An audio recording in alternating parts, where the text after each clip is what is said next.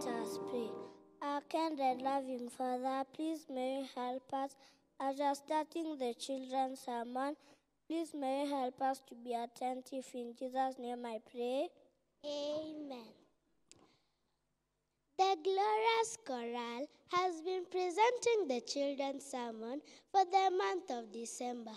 Our theme this month is The Lord's Supper, also known as the Holy Communion.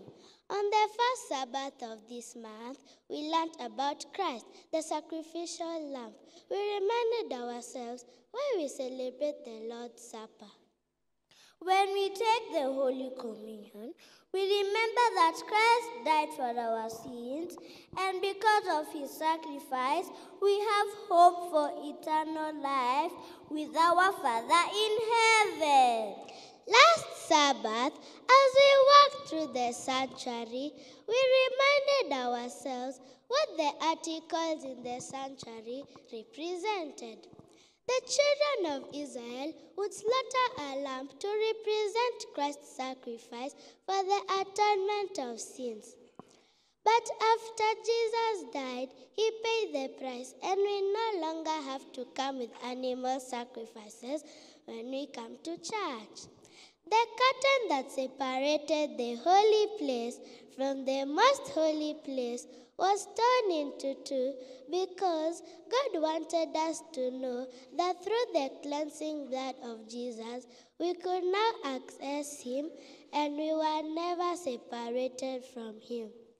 The grape juice that we drink during the Holy Communion represents Christ's blood that was poured for our sins. Well, something very important we are learning here. Jesus washed his disciples' feet. We will talk a bit about this. So, our topic for today's children's sermon is Christ the Servant Savior.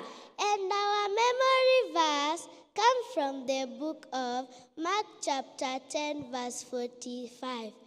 And it says, For even the Son of Man came not to be served, but to serve others, and to give his life as a ransom for many. Imagine you and your friends are at a birthday party. You go and throw away your plastic cup in the trash can, and it is overflowing. It is smelly and nasty.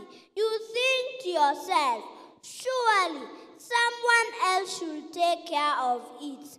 After all, you have a good time and not to clean up after everyone else, right? That's probably what the disciples were thinking when they sat down to eat the Passover meal. It was a servant's job to wash other people's feet. The disciples wouldn't think of doing it themselves. During the meal, Jesus went to get a big bucket of water and a towel. He washed his disciples' feet.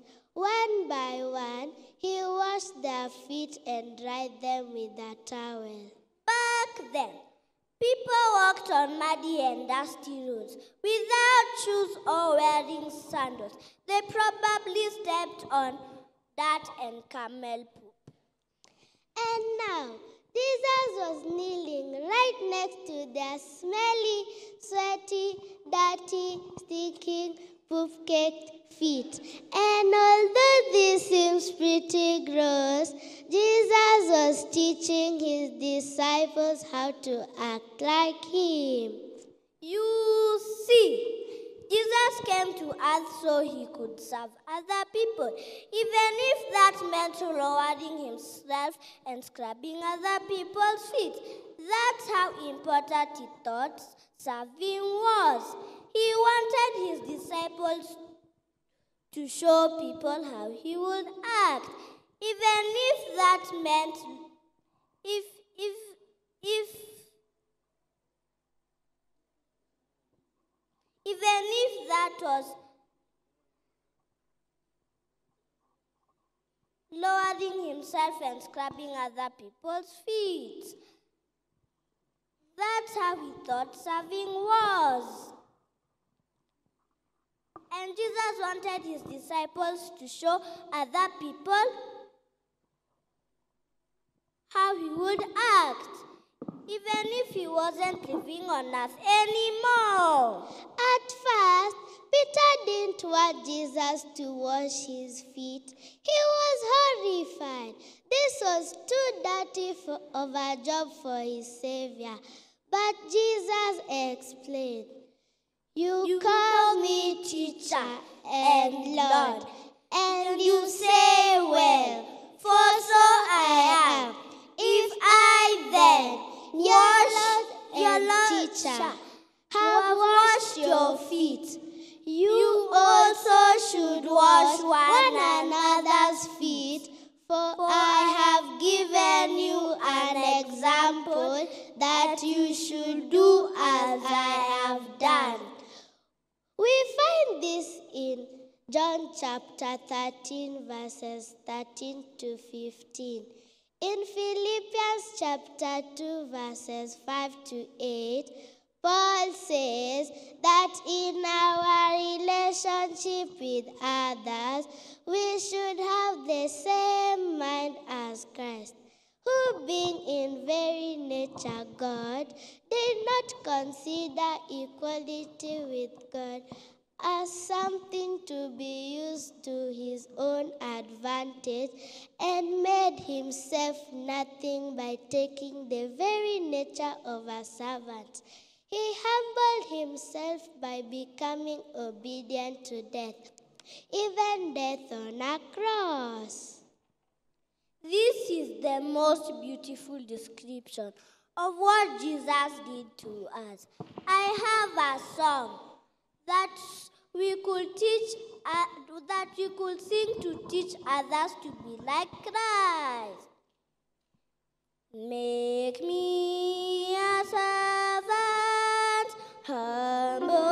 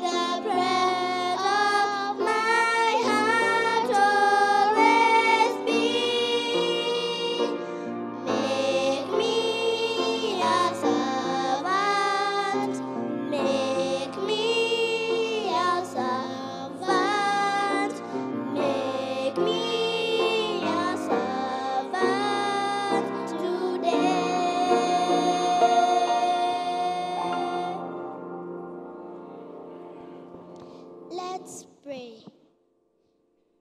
Dear God, thank you for this day. As we finish the children's sermon, take care of us. In Jesus' name we pray. Amen. Now, from Glorious Chorale, that is all we have for today. Join us next Sabbath as we learn more about the Lord's Supper. Bye. Bye.